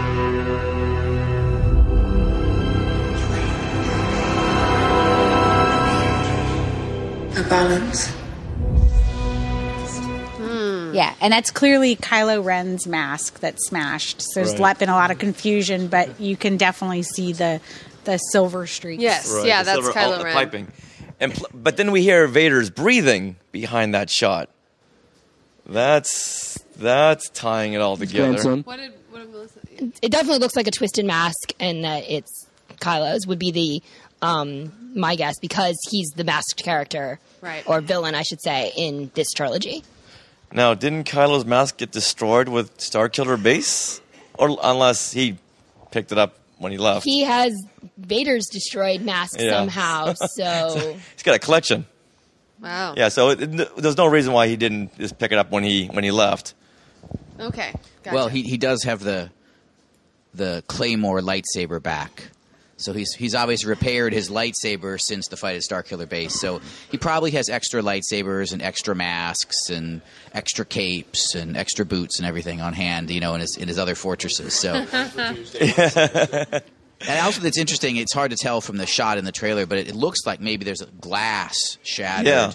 That, along with the mask. So that's interesting because that, and it doesn't look like the, you know, it doesn't look like the floor from Starkiller Base. So it, it does strike me that something else has happened. That that's not the mask from the first movie. That there's another mask, and hmm. you know, maybe, may you know, shattered glass. So maybe it's like the in case of emergency, you know, Right. in case of emergency, break the glass. And get the, so he had to go get his second mask out, but then something happened. That one got wrecked too. Well, seeing his temper in The Force Awakens, they had to have doubles of everything and triples. And I have to say, my favorite part of the trailer is BB-8 in a really big hurry. he's, he's like leaned about 45 degrees forward. He's going as fast as he can down that hallway with Poe. Oh. I, did notice with uh, the Kylo scene when he's pointing the lightsaber at us, you can see the scar on his face. Yeah. And was were his eyes different?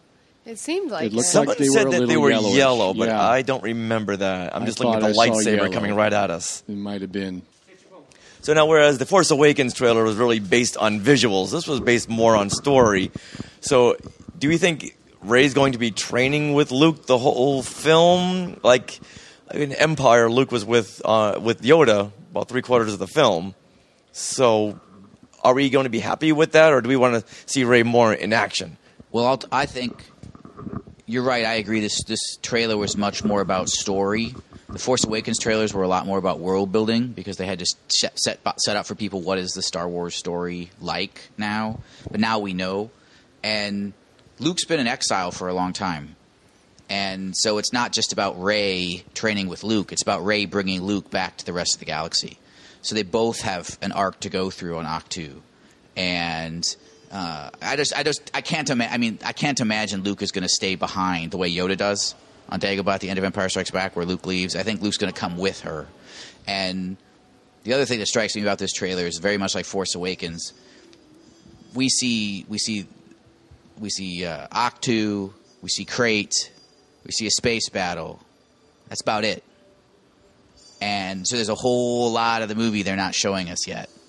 And I would be surprised. I think they'll start the movie on Ahch-To and she'll stay there for a while, but the rest of the movie, she's they're not going to. There's only so much you can do with force training. It's a tw- it's a 22 minute episode of Rebels, right? I mean, there's only so much you can do with force training before you have to move the story somewhere else. Right. Right. I was gonna oh, go ahead. We do see Rey running with that lightsaber near the end of the trailer, and it doesn't look Oh. like Ahch-To.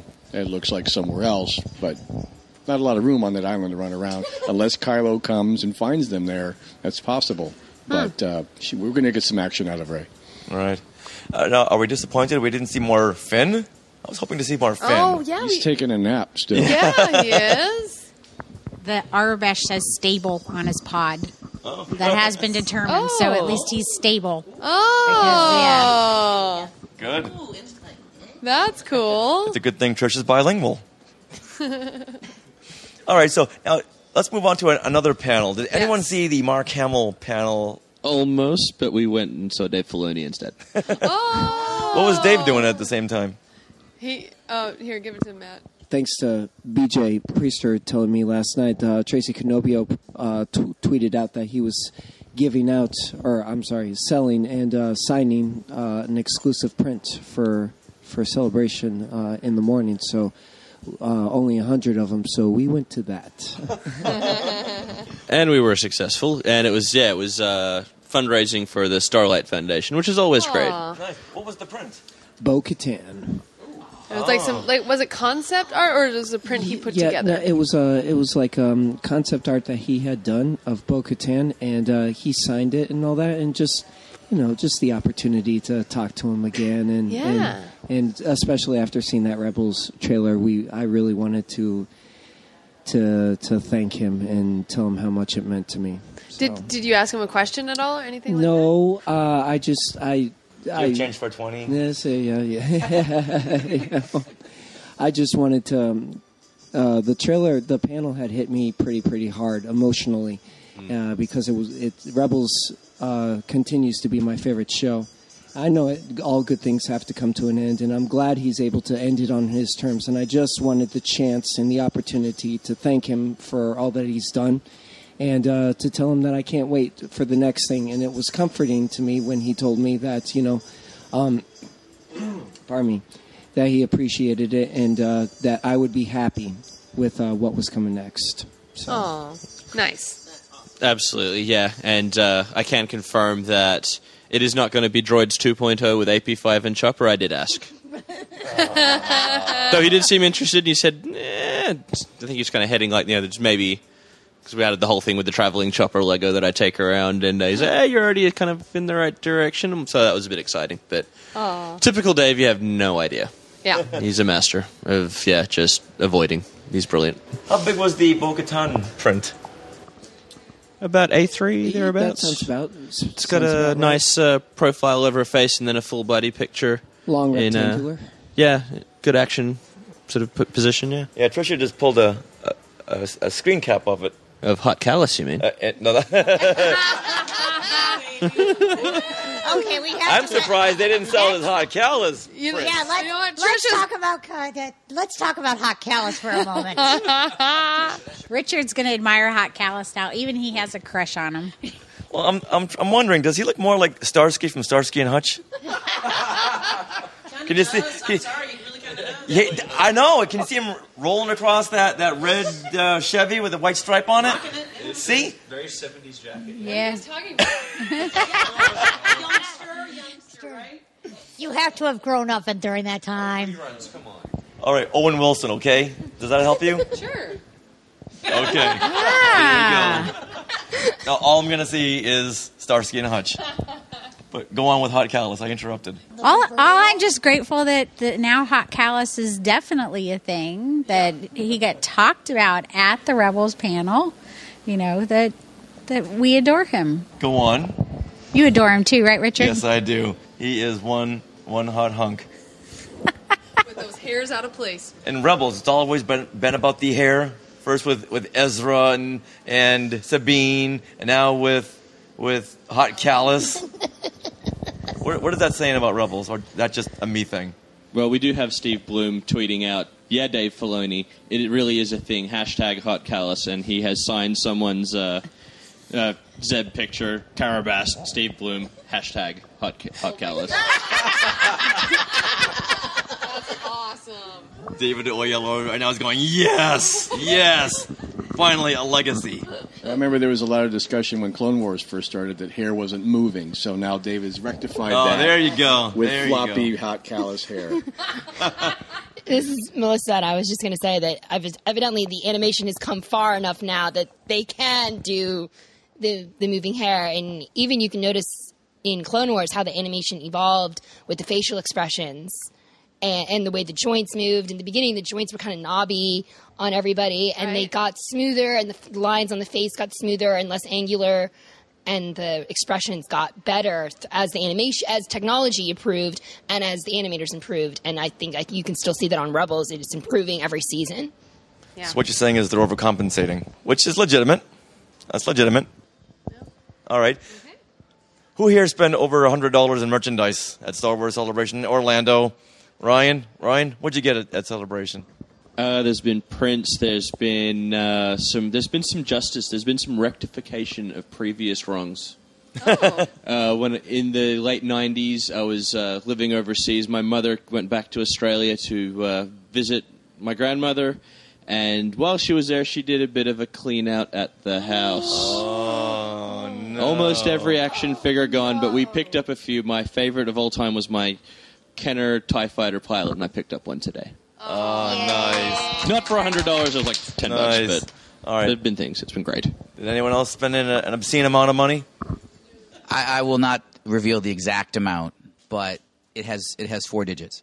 And, And a decimal? That, and that eh, not including the decimal. Oh. Uh, but that includes shirts that we got for a number of our friends that couldn't come to the con, um, and uh, people who write for the blog and the podcast.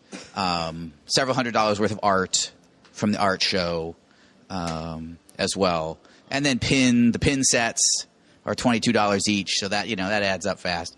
But uh, as I said before the con, it cost thousands and thousands of dollars to go to London last year. So I could spend a lot this year and still break even on the budget. so I'm not worried. The drive from Jacksonville, you know, cost me 20 bucks of gas. So, so it's all good. All right. All with the law of averages. This is David again. Uh, we splurged on the stay. We splurged on the stay with the uh, the Hyatt rather than spend a lot of money on merchandise. I maybe at the most two hundred dollars in stuff, but being able to come out here is is priceless, and being able to see everybody again is whatever you spent. That's that's that's that's not not even an issue. We're all together again. That's the important thing. Oh, Dave. Yeah, yeah. My wife flying me out here as a Christmas surprise. That was her spending it, so that doesn't count as me. Her money's her money. Your money's her money. but thank you to everyone here who has been so generous to me. Uh, this is Matt Clifton again. Uh, like David, I was the, I um, kind of splurged on this hotel, but I uh, wanted to be as close to the convention center as possible, so I'd be able to uh, uh, sleep sleep over if necessary and all that. And mostly, I just I wanted to show my friend from Australia a really good time, and I think I've been successful. Oh, how how is it being so close, like to to the hotel? Is It's it, like, handy. Totally worth it.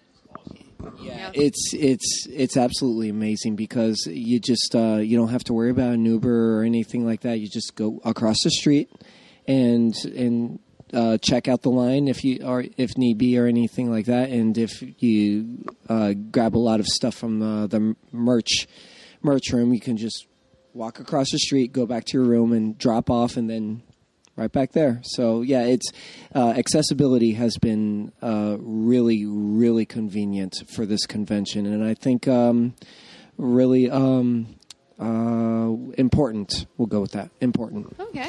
Yeah, we didn't really buy that much, Sarah. We, we bought the prints from Matt Bush and Lindsay. Mm-hmm. We bought the cantina. Which actually were gifts from my parents for Easter. oh, that's right. Yeah. Oh, Aw. love the in-laws. Yes. And then we got the, the cantina itty bitties from Hallmark. Yes. Had to have those. Those were like the only exclusives we got. the Hallmark stuff. Yeah. So cute. But but Gentle Giant was selling a box full of styrofoam, which was the Dianoga. Yeah. It was a, a the Really? yeah, they're replicating the it's like the how they're replicating all the Oh. vintage figures. They're replicating the vintage trash compactor playset. Aw. But this time for eighty five dollars you got a box of styrofoam. I'm not even sure you got a Dianoga. Was there a Dianoga included in there? It's on the box. I hope so. I just saw a box of styrofoam. I didn't I didn't see a green Dianoga in there. I don't know. I hope that for eighty five dollars there better be. I- I'm wondering if they're going to build a Death Star playset to go with all these figures. Oh, that'd be like 15 feet tall. Oh, I, I would me up. have to get that. You know, Okay. we could play in that thing. That would be awesome. Tricia Barr, Where would you put that? anywhere it wants to go. You would have to do an extension onto your house. Done. Done. Get rid of the pool. yeah. All right. Get rid of the neighbors. and their dogs. yeah. So, anyone else have a s- spending story? Yeah, yeah, actually, yes. I this is my first, very first celebration. Woohoo! All right. So I tried not Sandra. to go too crazy, um, but I did go to the Loungefly booth and BB-8 coin purse. I mean, it was just a lot of things that I've wanted to buy. So it was it was calling me. It was calling me. So I went over and just started grabbing. So I bought I purchased a lot of things for some of my friends who couldn't you know who couldn't be here. So um, as gifts, and then a lot of people who help us on the, you know, the fangirls going rogue that support us. So I made sure I just, you know, picked up a couple of treats for them. So I didn't overspend too much because I am living on a teacher salary, um, but it was, you know, I, I, it was over a hundred, but I didn't go like four digits or, you know, I mean, I didn't hold four hundred or anything like that. but overall, but it was, it was okay, not too much. I was very good. I only bought one big item. I bought the Hera T-shirt, you know, long sleeve T-shirt for the Her Universe at the Celebration store. That says Hera on it, right? Correct. And then the A is her head. You have control. You must learn control. She did. Uh, this is Melissa, and um, I did not buy a lot. Um, I'm living on a librarian salary, like Sandra here. Um, they're not. Uh, government doesn't pay well. Um, but I had to buy myself the lightsaber immersion blender I found. Um, what? The what? the immersion one of those blenders that you stick it in the cup and it does it for you Like a little but motorboat. the handle the handle is a lightsaber hilt and the um, stem part is colored for a lightsaber so it's anakin's lightsaber and um, it to go with my death star waffle maker that my best friend bought me for christmas and i also had to buy the um, spatulas that I, I don't know which booth it was. It's near the it was Disney or the Disney Parks booth in the way back corner. Nice. And they had um, kitchen utensils and things. And my mom and I bake, so we had to buy a Rebels one. And it, it had the Rebel Starbird and Rebel and gold, and there was another one that we bought um, that had gold on it. I don't remember what. I think it had the Death Star. I don't remember. Nice. Kitchen All right. tools. Yay. Kitchen tools. Awesome. Hey, this is Luann. I just wanted to say that we found out about a Goodwill area. Did you guys go there? No. Oh my God, it was awesome being the uh, garage sale Goodwill thrift store girl. Whoa. I got a really cool shirt, and you got a couple things. Oh, and we have something for your your little one to take to Australia. Yay. So that was fun. I've never seen such a thing at a big convention Was like that, that. A, it was a booth or is it an actual area? yeah, a booth. Okay. Wow. Yeah, it was awesome. Oh. You know, hey, why not? It was good stuff as long as it wasn't like had a stain or something. It was cool. I'm like, hey, Yeah, I picked spend up some more a money. picked up a Hallmark ornament that I was missing. Yeah. So it worked out. Awesome. One more thing, I'm just going to tell you about my husband and the D- and the exhibit room. I was looking for him on Thursday, and I said, "Where are you at?" He had one word text back to me: "Heaven." no, I think that's what we all think of Star Wars Celebration. Oh, very nice, very nice. We didn't spend that that much on the merchandise because we spent a lot of money on the parties and such. Oh, yeah. and the stuff afterwards. Did we all go to the 501st bash last Huh? night? Yeah, some of us. Are we still all hungover? Definitely. What about? Tricia, I'm looking at you. I slept it off. and what about Galactic Nights? Yeah, we had a Nights. fun time. Yeah, we were looking to really replicate the last tour to Endor back in 2010, and I think this really did it. Oh so yeah, much fun there. Yeah, I think from beginning to end, we were we had a group of from anywhere from ten to fifteen people at any given time. It was really fun. Yeah, it was fun meeting all the Skywalkers for the first time and getting our Star Wars picture in front of the where the Star Wars land is going to be, the Star Wars landline Yeah, picture. Yeah, that was great.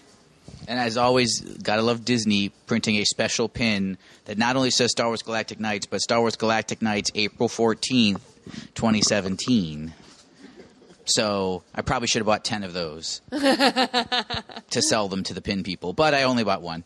Uh, but yeah, it was really neat. It was a neat event. They did the, for the second time, I believe, the uh, rock and roller coaster switched off of Aerosmith music Yeah. to Star Wars music. I believe the only other time they've done that was for the special uh, event they did for the Force Awakens right. world premiere Wow. night uh, that they did at Hollywood Studios two years ago. Yeah, that was neat. You were like actually flying through the asteroid field with the asteroid field. yeah, they turned off all the lights Mhm. on the Aerosmith signs, so you could see them if you know where they are because it, there's it's, that wasn't pitch black. But but they turned off all the lights on them and then left a few of the f- other lights on, so that essentially the way it was reflecting off all the the beams in the ride made it look like a star field. So that was and you're going fast enough that the optical illusion works. So it was that was really cool. Riding Star Tours with a bunch of people from That too. Celebration was really cool. You know what else was really cool? That I was the rebel spy. Oh, for heaven's sakes! Yeah, once. How many times? And then Stop who it. who was the rebel spy the second time? Uh, it wasn't Tricia? me. It was Sarah's boob in my arm. Explain that. We don't know. They were aiming in a strange place, but that's what it was. Erica Kane. Twice, twice in one night. I'm glad it was you, sweetie. I am really glad, but Uh-huh. I'm, at the same time, I'm really angry. You're really upset. I Yes, know. yes. You know, it's not bad that you were you were the, it once, but twice. Come on, I'm trying to be supportive here. One other co- thought on Galactic Nights. They had a lot of the food they had done previously at Star Wars Weekends, which was good to see again. But they had something that I believe I thought was new. I had never seen it before, which was the lightsaber brownie sundae. What? Which was a brownie sundae with two churros stuck in it, one with red sugar and one with blue sugar, so that it was two churro lightsabers with the brownie sundae. That was spectacular, and I hope they have it every day forever and ever. Awesome, awesome. Do you know what's more depressing than me not being Rebel Spy Uh-huh. twice? The fact that they're popping that big balloon bantha downstairs. this was the balloon bantha from the 501st bash. They're euthanizing the bantha and the dewback. You know what? Can you ask them to bring it up? Ask them to bring it up. We need, we need it for the podcast. Any other stories about Galactic Nights? Just on the uh, Rebel Spy, I think clearly, clearly, it is because you're such a professional Rebel intelligence operative that they can't pick that out. Oh, that's obvious. Oh that's what it is. I like that. Okay, I'm gonna I'm gonna go with that. Let's I'm go with go with that. All right. Then then for the these what's the uh, parade called? Oh, stars the, and oh, cars. the stars. Yeah, the motorcade. The motorcade. The Mm. celebrity motorcade. Uh, yeah, Teresa kn- knew the best spot to be for that, which was right at the entrance. And when she when she staked out that spot, there was no one around. So we took our whole group over there, our entourage, and we got some great shots of our celebrities. And who are the celebrities? We had Daniel Logan. Daniel which Logan. I insisted on calling Jeremy Bulloch. He liked that. was it Dan- Daniel Logan? Daniel Logan. Oh yeah, John Jer- Knoll. John Knoll came out. Peter Mayhew. Mhm. Anthony Daniels. Who else? Warwick Davis. Warwick Warwick Davis. Davis. Alan Tudyk. Alan Oh yeah, Alan Tudyk and and Vanessa Marshall. And Vanessa Marshall. Yeah, so that was really neat. And then the the fireworks show. yeah, that was amazing. Now we have not been to see this fireworks show, which I guess they've modified to include Rogue One clips. Oh my god, that, That- was that was, was so amazing. That was a, it was projected on the The, Uh-oh. Uh oh. T TCL Chinese not man's theater IMAX. Yes. That's it. IMAX, yes. Yes. There you go. So it was projected onto this theater, and it was just so so well done, so well choreographed, and it had different projections on different screens too. And it had the lasers The coming out lasers at coming you out at you, a it had battle. smoke, it had the music. It was just fantastic. And then at the end, a big lightsaber. Oh, it reminded big- me oh. reminded me of our old fangirls going rogue logo. you know? Oh yeah, because The- the, the beam, lightsaber with right? the- The, beam, like a big spotlight. Yeah, So that that was that was fantastic. And all right, so then let's let's talk about today and the Hoojib hop. Who jib hop? And David Mandervillian is still wearing his hoo- his Hoojib ears. Very good. And we wanted to do something to to celebrate Easter. Yep. So what better way than to wear Hoojib ears and bounce around cele- the celebration dealer room floor? And we want to give a big shout out to to Amanda Bond, who made all these Hoojib ears. Thank you, thank you, Amanda. Like they, they looked fantastic. Random strangers were coming over and wanting a pair of Hoojib ears. Oh yes.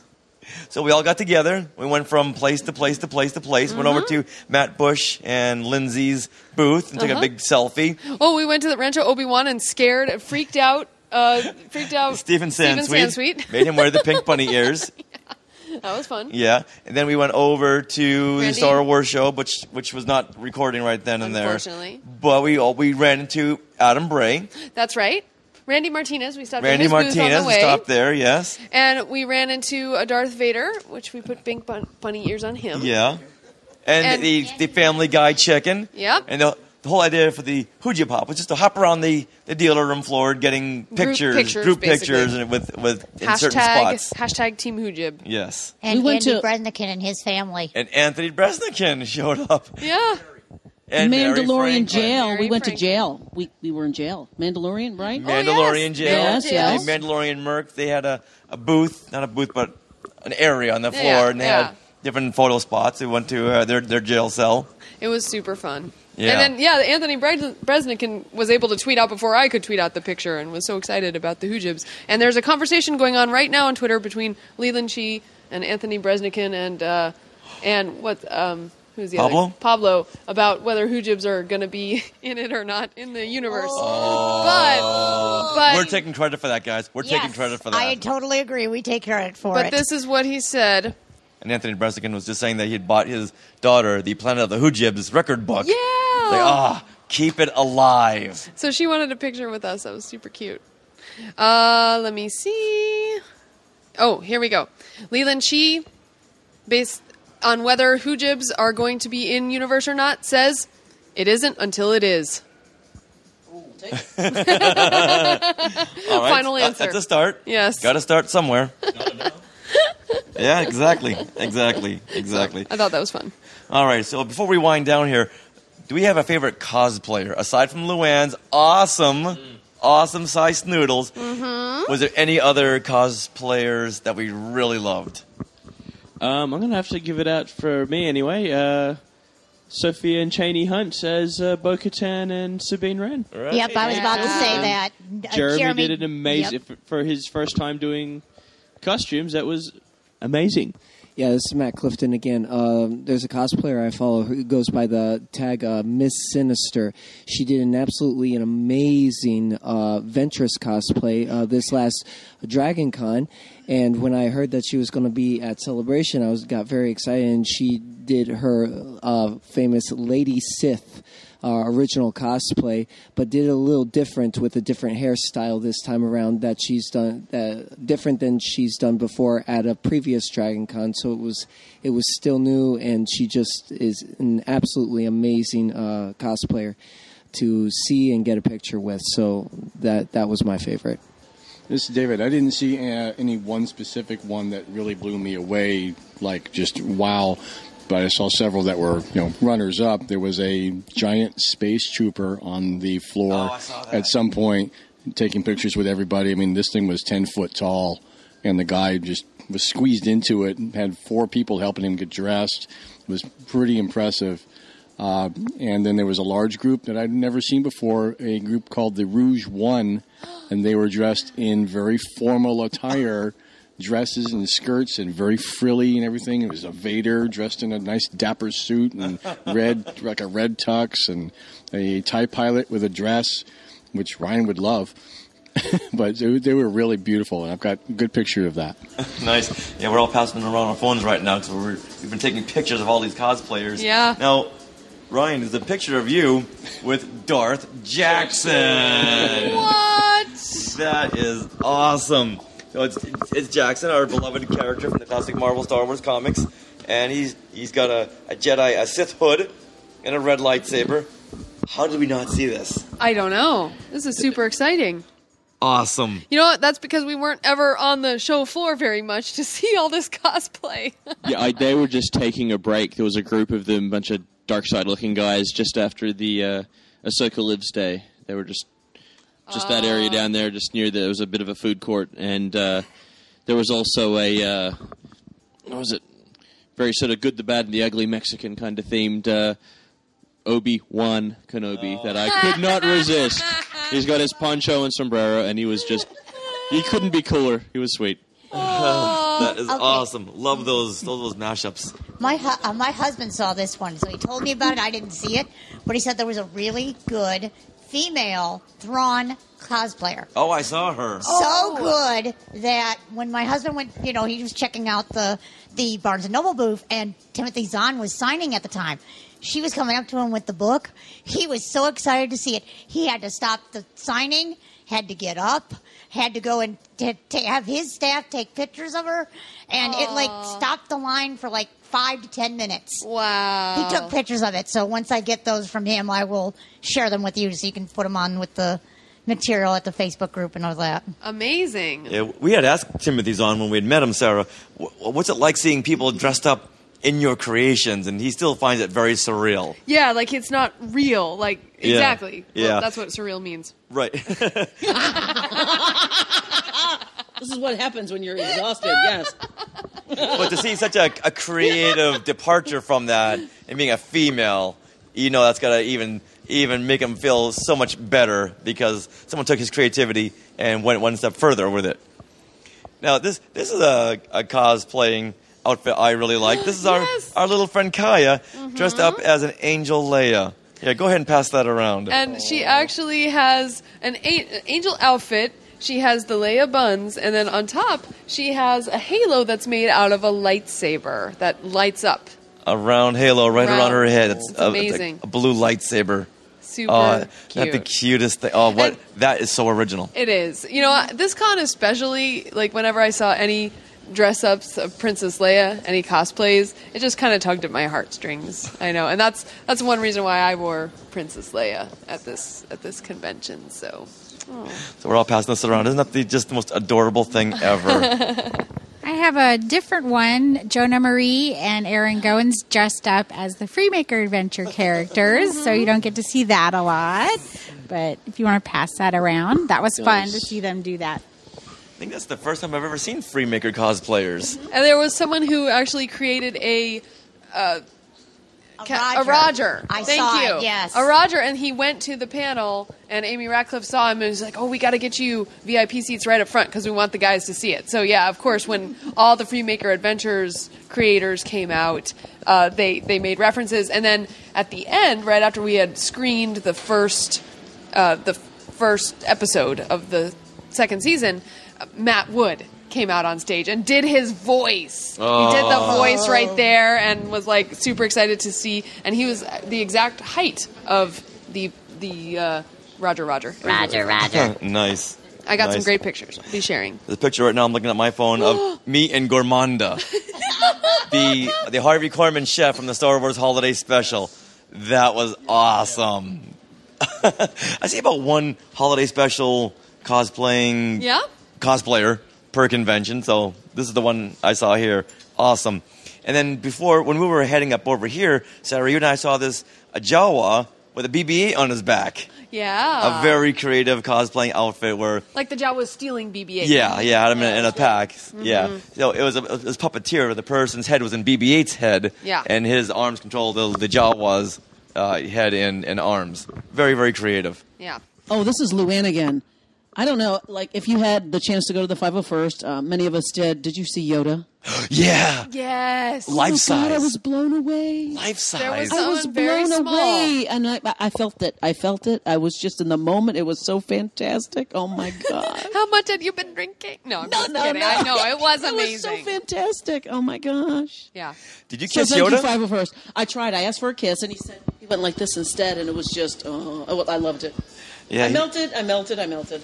Whoever was in there, he or she, went very slowly. Yes, yes, and yes. Everyone wanted a picture. Oh, it was fantastic. Oh my god! There's also a, a picture, and for some reason I didn't get it, of a great Jar Jar.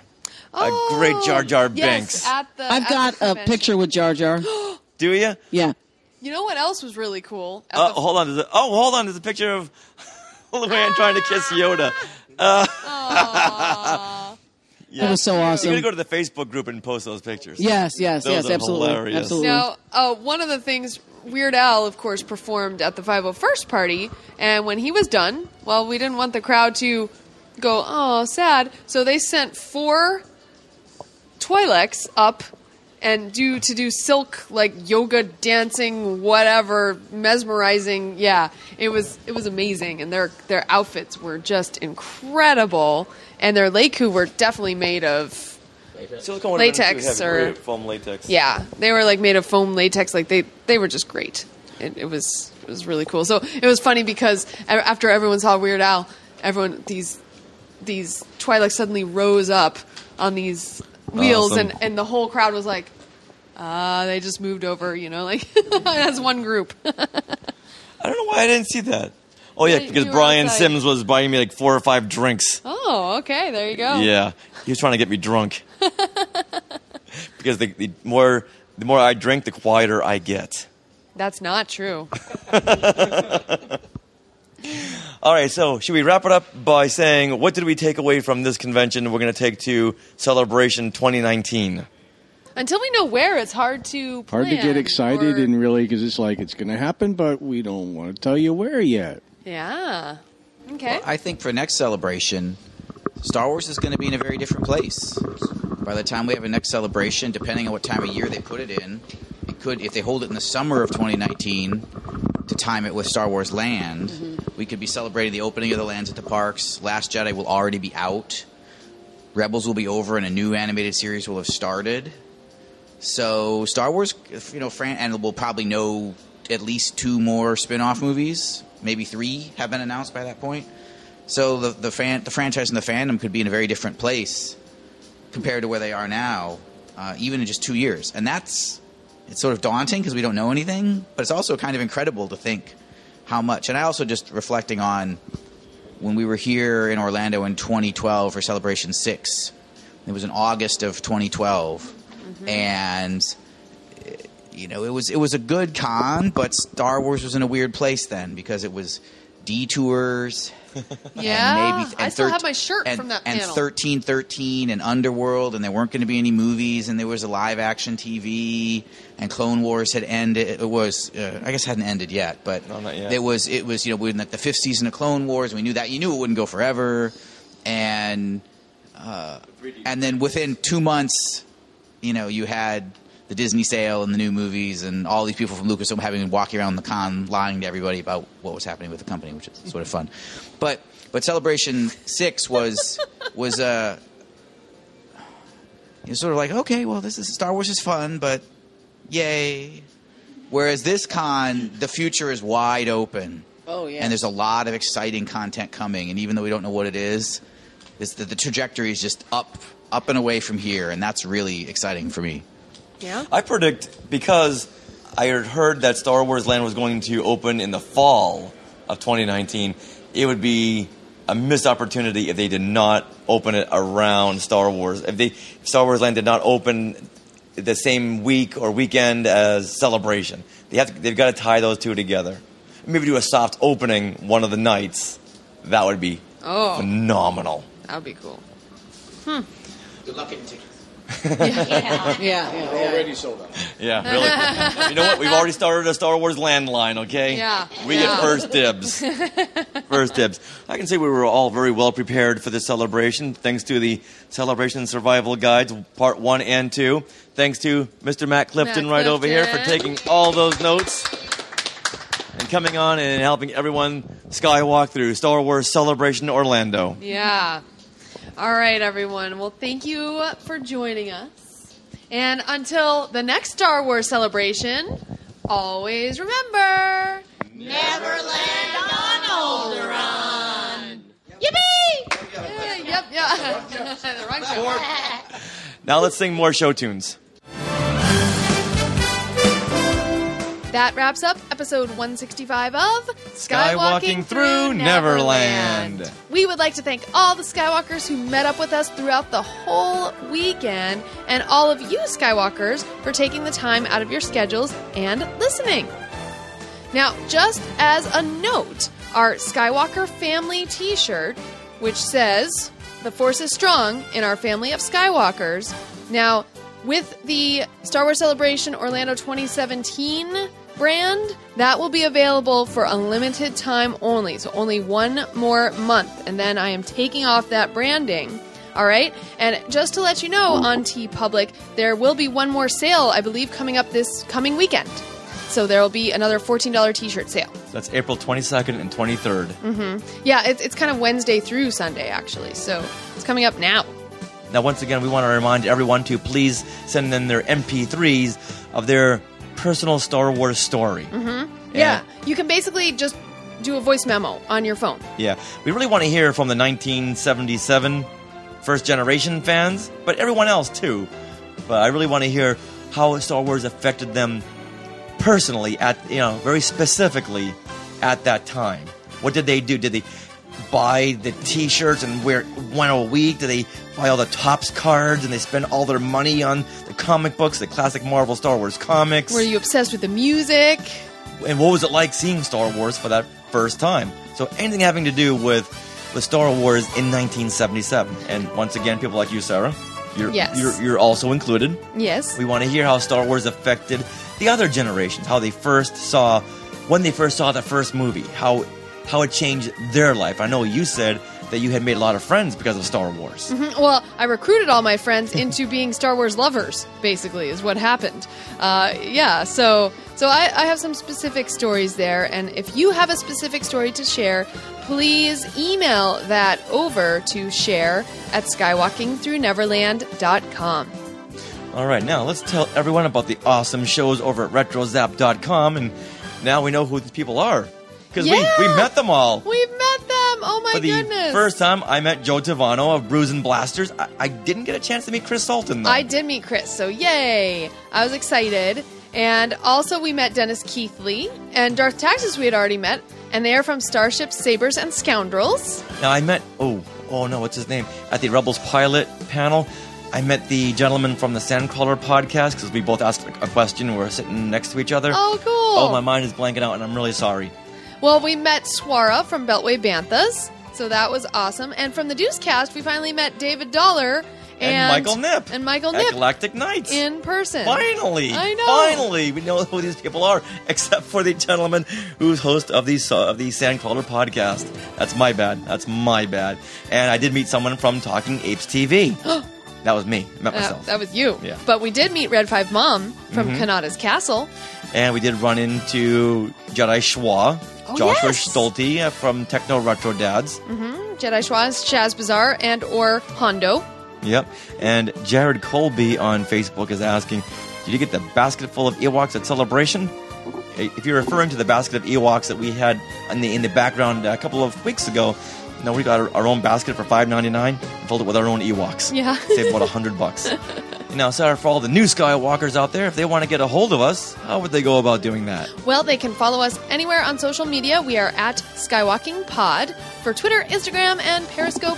And our Facebook group is where you can get to know the family of Skywalkers. It is an amazing group. We do all sorts of meetups all over the world now, I guess. Not even just at celebrations or here in LA. There's other Skywalkers who are hosting other meetups. So that is exciting. And to join that, all you have to do is request to join the Facebook group. So you search Facebook for Skywalking Through Neverland, and then you have to find us somewhere else on social media and message us or tweet us and say, hey, I requested to join the group. And I am a part of the family of Skywalkers, and then we will let you in the group. But you have to do that two step process, okay? It's very important. All right, now with that, we also want to mention everyone to please give us some iTunes reviews. Ooh, that would be good. One star or five stars, it's all good. We want to hear what you honestly think. You know what? We don't have any four star reviews. Shh. Oh. That's okay. Let's let's go with the five stars or the one stars. or just you know, we're not gonna tell you to write anything. Just you guys just be honest. Be honest.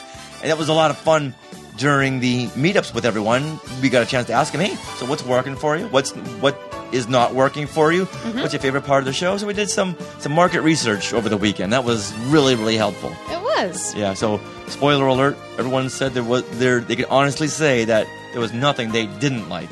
Okay, and people said they really like the Disney stuff. Yeah. which- so we'll keep on we'll keep on putting that in. And speaking of Disney stuff, in a couple hours we're heading off to Disney Studios to see a press screening of Guardians of the Galaxy 2. We're so excited. So excited about that. So we will let you know our thoughts on that next week. Yeah. All right, everyone, we gotta take off. Gotta start getting ready. So stay tuned after the credits for some show tunes that we just broke into very spontaneously before and after the debriefing. Mm-hmm. Then right after that, always remember, To never open your vintage recreation action figures. unless you really want to and you have a wife who wants it. Even then, don't do it. Neverland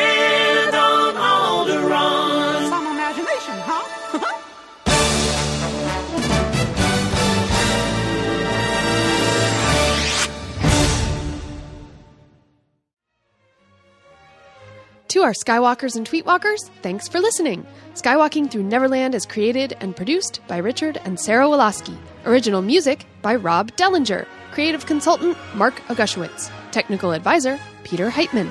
Facebook administrators Donald Wicks, Joey Pittman, and Norma Heitman. Skywalking through Neverland is intended for entertainment and information purposes only. Any sounds, music, and clips played during this podcast are the property of their copyright holders.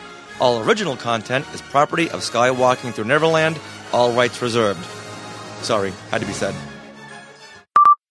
On the Copa. Copacabana. That's I know, I was thinking something more like Summer Lovin' had me a blast. Summer Lovin' happened so fast. Sandra checked out of this song. She did not want to participate at all. Tell me more, tell me more. Did they go very far? yeah, neither do I. I don't know when to stop this recording. It's too much fun. well, oh, well, oh, Luan, Luan, Luan, Luan. Snooty. I'm so sorry I shot you, Sarah.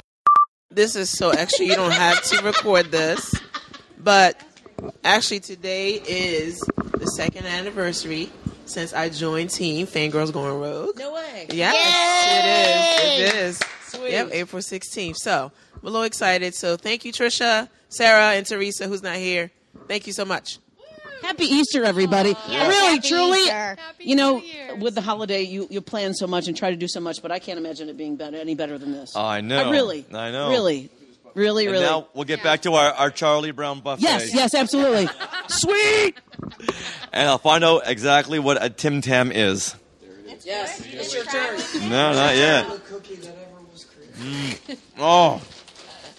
Oh, good. Who got these? These are good. No. That- that is the- All the way from uh, Australia. Mm. That is our greatest export. Bye, mm. Captain Rex. and as usual, that wasn't actually. Are you hulking out? Mm. Hulk, eat, Hulk, eat. Let Things we it want all to out. shout it out. These are the. That's a whole different You song. messed That's- me up. You messed it up. See, whenever I start singing, I just mess everything up.